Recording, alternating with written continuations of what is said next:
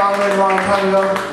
My buddy Dave Hamill helped me write some of the lyrics here. Hamill, are you? Dave Hamill what the hell?